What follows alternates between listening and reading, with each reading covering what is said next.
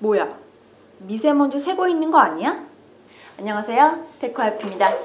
갑자기 너무 당황스럽지 않으세요? 제가 삼성 무선 청소기를 그동안 사용하면서 드디어 아쉬움을 발견했는데요. 그 아쉬움에 대해서 여러분들에게 정보를 공유해드리고자 이렇게 영상을 만들었습니다.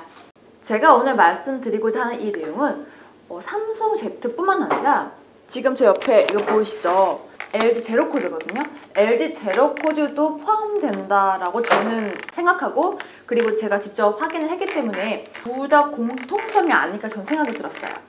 그래서 어, 삼성 그리고 LG 관계자분님께서 만약에 제 영상을 봐주신다면 이 부분 진짜 고쳐주세요. 여러분이 보기에 어떠세요? 하얀색 먼지들이 덕지덕지 붙어있는 이 부분이요.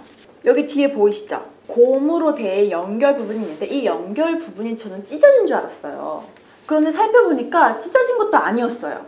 일단 저는 평소에 파워 브러쉬를 사용하고 있는데요. 이 파이프와 연결된 부분의 접촉이 불량이라고 생각을 해서 그 서비스 센터를 통해서 기사님을 요청했는데 기사님께서 보시고는 기계적인 문제가 아니래요. 어, 그렇다면 무슨 문제지? 정말 곰곰이 생각을 해봤거든요. 알고 보니까 이 청소기 기계 자체에 대한 문제가 아니고 이 자재, 이 자재에 대한 아쉬움이었어요. 먼저 청소기 원리에 대해서 말씀을 드릴게요. 어, 무선 청소기의 원리는 지금 강력한 모터의 바람을 통해서 먼지들을 빨아들이는데요. 전에 먼저 이 브러쉬가 바닥에 있는 그 면의 먼지를 탁탁탁 털잖아요.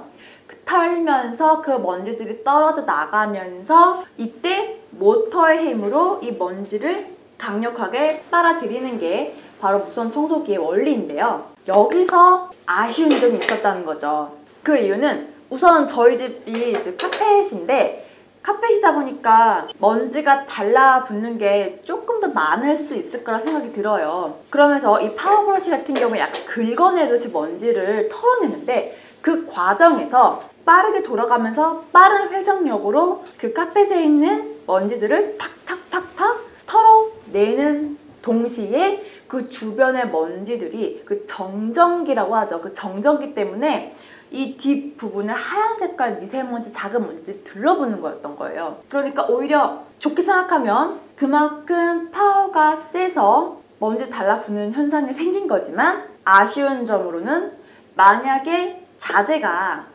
먼지가 들러붙지 않는 그러한 자재였다면 이런 경우가 없었겠죠. 왜냐하면 실버니까 그 하얀색 먼지 붙인 눈이 보이는 게 너무 눈에 띄고 보기가 너무 싫은 거예요. 사실 white 같은 경우에는 어, 아무래도 하얀색이다 보니까 그렇게 눈에 비치는 게 없어서 몰랐어요. 근데 silver를 사용하면서 그러한 점이 있더라고요. 아 그러면 처음 제로코드 초기 모델인데 이 모델 같은 경우에도 파워브러쉬를 정말 열심히 잘 썼거든요. 삼성 무선 청소기 제트를 준비하기 전까지는 제로코드로 썼는데 이거는 그런 느낌을 못 받았어요 사실은.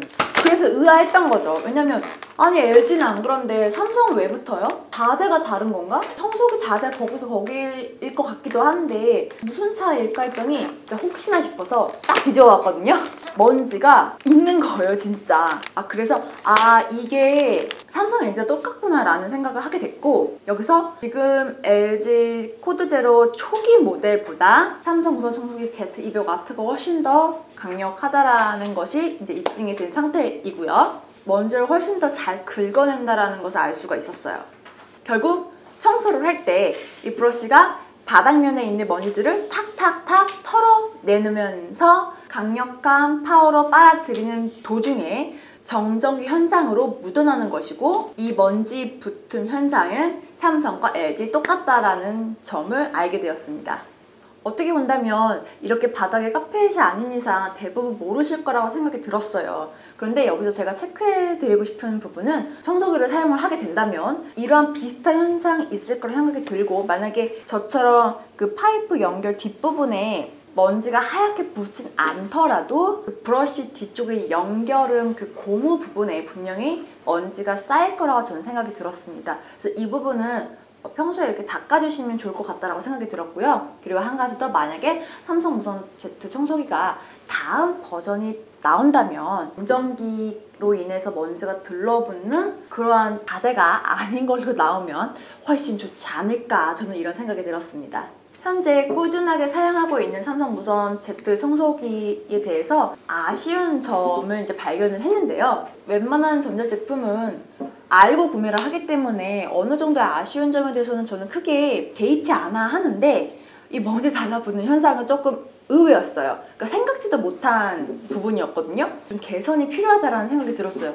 왜냐면 당분간 전 카페트 쓸 거니까 그런 것도 있었고요. 분명히 다음 버전으로 나왔을 때 이 자재 부분이 좀 개선이 된다면 훨씬 더 좋은 스펙이 될 것 같다는 생각이 들었습니다.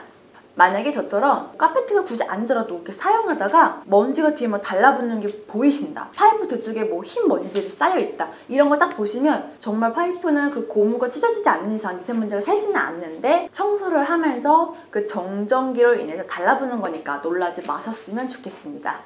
코로나19 때문에 마음이 참 심란하시죠? 지금 저도 영상을 찍으면서 옆에 아기가 그림 그리고 있어요.